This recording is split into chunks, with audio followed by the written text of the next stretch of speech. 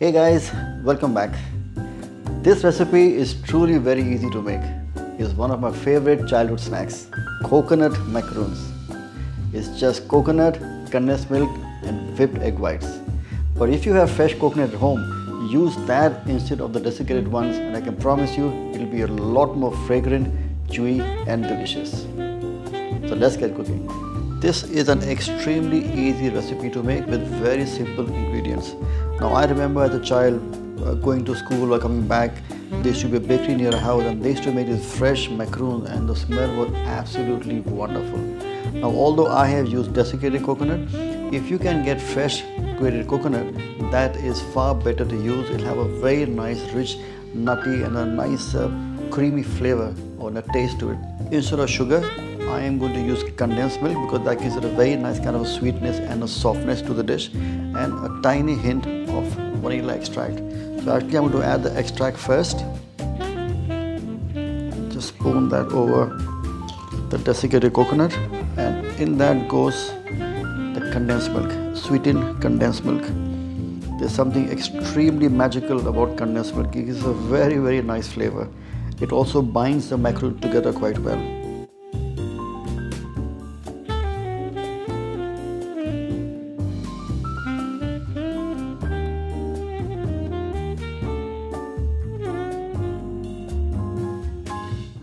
So you mix the macaroon, your vanilla extract and the coconut together till you get it almost like a crumbly kind of a texture. Don't want to form it like a dough. Literally just fold it together so that the condensed milk mixes up with the coconut. A little taste. Oh, nice. The next step is actually to whisk the egg whites. Got one large egg. Just the whites, not the yolks. If the yolks do happen to go into the egg white, the egg whites will not fluff. They won't become frothy at all. So just make sure that there is no yolk going inside the egg white.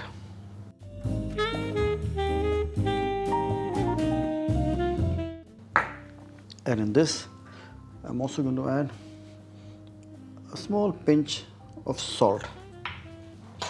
And all I do now is whisk the egg till they become into nice peaks.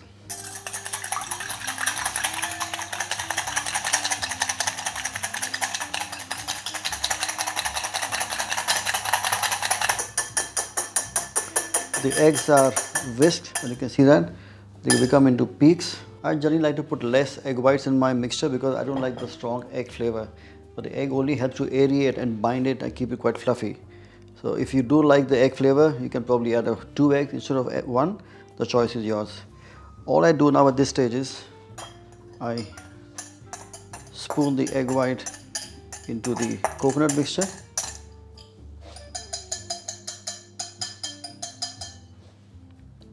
All of the stuff goes into the coconut and we gently fold the mixture together.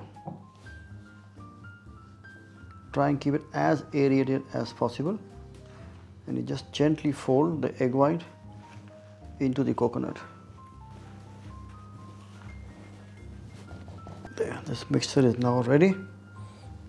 I'm going to now put it on to my baking tray. The mixture needs to go on to this uh, roasting tray. I've lined that with a, a, rubber mat or a silpat. You can use a butter paper at home or a parchment paper that works fine. I'm going to use spoons to spoon out my coconut mixture but you can also use a small ice cream scooper. It works equally well. Or with your fingers, just make it a small little mixture and drop them down. So to start off, here we go. Literally, not much, a tiny quantity. And when you do put them onto the tray, make sure you space them out by at least an inch apart and not close to each other. The macaroons are all into the tray now. This is going to go into a preheated oven at 165 degrees centigrade or 325 degrees Fahrenheit for approximately 25 minutes. There the macaroons are ready and I must say they smell absolutely wonderful. Nice fragrant. You get a very kind of a nutty coconut aroma to it. Now, but this I'm going to leave for a good four or five minutes to just cool down slightly and then transfer into a bowl and have a little bite. The macaroons are now cooled down. Now if you handle the macaroons when they are very hot, straight from the oven, they are actually very delicate, they're very soft, they'll tend to break down. Now once you let them rest for 4-5 minutes, then what happens is they cool down, they get a slightly firmer and they're easy to handle. I'm going to transfer a few onto a little plate and then have a little bite to tuck in. So here we are, let's have a look. When you break it down, you see that it still holds shape quite well. It's got a very nice kind of a crumbly texture, slightly moist, still in the center. But the best part is the taste test. Mmm. Oh, the outside is nice and crisp, it's chewy, it's soft in the center, and absolutely delicious. So these are my childhood snack, coconut macaroons. Make sure you try it for your friends and family and don't forget to tag me. So until next time, happy cooking.